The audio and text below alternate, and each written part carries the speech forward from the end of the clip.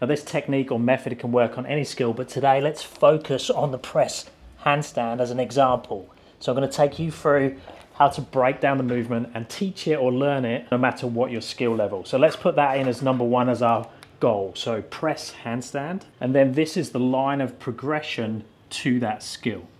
So what we need to do next is break it down or reverse engineer it all the way back to the initial level or to your level that you are current. But if you're a coach, you need to take it all the way back to any person that comes to see you. So let's do that today.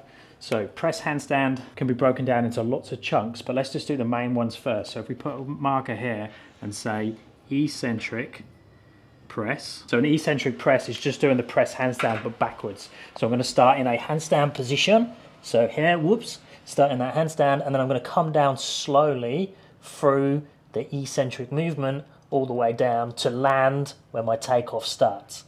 Now, if I can do that with control all the way down, that's a good way towards the press handstand. That was freestanding, so I could put freestanding, eccentric, press handstand. So an easier version of the freestanding eccentric is wall eccentric press. So that would be a regression further down that line of the movement and the eccentric against the wall is the same idea. So I start in the handstand, but now I go to the wall and then I come down with control, mind the wall on the other side until my tippy toes touch the floor. So there. Now to be able to do that, I need to be able to kick up to the wall, but I also need to be able to take my shoulders to the wall in this shoulder lean position and have the control to do that. So I can then drop back even further and go wall lean. But remember I had to kick up to the wall to do that, so I need to have a wall kick up which could be one of the very early exercises. So you can see already we're starting to populate this. Now the eccentric is a great fundamental or a great stepping stone towards the press handstand, but the downside of the eccentric is it's only the down phase and we need something for the up phase. So a really good exercise is the partial range press to handstand. So with the partial range press handstand, I put my feet up onto an elevated surface and I press up to my handstand. So great exercise and it's really cool because I can change the height depending on my level and my ability with the movement. So that's cool. It's a freestanding movement. So it needs to be in here. Maybe let's do that here.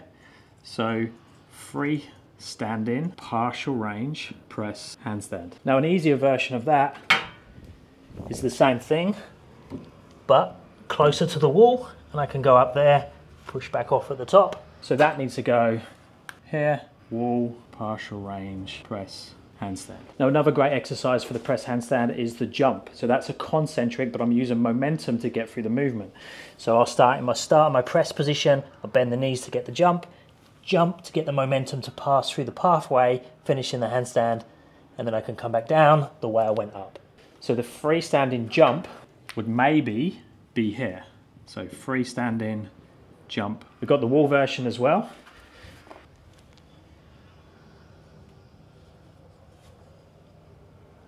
Which is obviously much easier than the freestanding version.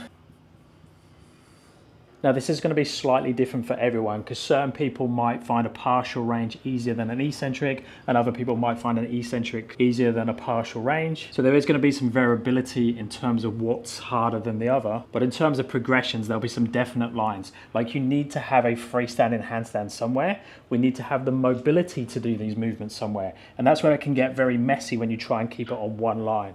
So a really cool way to do it if it's a complex movement like a press handstand is to do another line here and we could call this one mobility for press. We could have another one that is strength for press. And another one that's really important for all these handstand movements is to have a definite progression for your handstand balance. And you could include all of those on that same line, but it will get a lot more easier if you start to split it up and really understand all your progressions. So the handstand balance is a great example. So we could go chest to wall hold. So just getting your conditioning when you're learning your handstand, a beginner would start in this position, hold here for time, maybe 10, 20 seconds, come back down, have a rest, go again. The person who's more stronger in the position would go closer, hold there for time, up to 60, 90 seconds in that position. Then we have things like heel pulls, toe pulls for reps, for holds. So that's increasing our balance window. So I kick up this way, use my fingertips to pull off. So that's training my overbalance. And then I need to do the same, which is seen as a harder exercise, but working the underbalance, so the toe pull movement. So there, and then once we get some control, we've got free standing handstand. So having the ability to just hold a freestanding handstand in the middle of the room for time. Once we've got there, we want to be starting to play with shapes, both tuck and straddle, to give us the ability to go through the progressions of the press handstand, but also to build that really important upper back, trap, shoulder strength to be able to handle all the balance and the strength drills in those positions. So straddle handstand, tuck handstand. Now for the mobility, we need to have straddle, we need to have a forward fold position to get our hip crease on top of our hands. That gives us the flow or the position to be able to flow. And not only do we need that flexibility for that position, we need the strength. So the strength of the press really comes from protraction through the upper back. And the stronger you are in that position, the easier you can press using strength and not just flexibility. So improving both of these things at the same time is really important. So we have straddle, forward fold flexibility, so both of those things need to be improved. So you could put in specific exercises or ranges of motion that you're aiming for on that progression line. But basically with those two things, if they can get easier and easier, deeper and deeper, more flexible, your press is gonna be easier. If we can increase our planche strength, so planche, so if we go to a tuck planche, so having the ability to be able to hold this position for time comfortably, that type of movement is going to really open you up and give you a really good chance of succeeding in your press, even if these aren't quite so strong. But if you're working on these and these, you're in the best possible position. Now you can delve deeper into each of these. So not just increasing our tuck planche strength or our planche strength, but also if we go into bent arm strength, suddenly that gives us more options when it comes to press handstand because I can go into that start of the press. If I can't lift off, bend my arms. Now look, I've lifted my feet up. So I'm muscling the press handstand, but that is one option to slowly get towards the straight arm press handstand. Now the press handstand is one of the more complex movements because it requires all those things. But if you just done this for handstand balance alone, your line's gonna be a lot more simplistic. Same as if you only went for a tuck planche, you could just focus on this line and not worry about all of this. But this sort of thing is really important if you're a coach and you're training other people to do these skills because you could have someone come along that fits here here, or here, and knowing all the progressions and the regressions around that is really, really important. Now, if you're trying to learn a skill, the most important thing that you know is where you are on this progression line, and then what is the skill or the progression in front of you and behind. So if you want to do more repetitions or if you're having a bad day, you need to be able to drop back to the easier exercises. If you're having a good day and you're making good progress, then you need to know what the next exercise is. So if you're working with a coach, they should be able to give you that information.